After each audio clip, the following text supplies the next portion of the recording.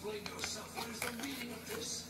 After I set all those booby traps to give me plenty of warning, I wasn't expecting you. I should have known you could get past anything. A steady flow of people have gone missing from the village. Genin, Chunin, even Anbu Black Ops. Many of them were last seen with you. And you've been acting rather strange lately. You, the superior shinobi, how could you have done such a thing?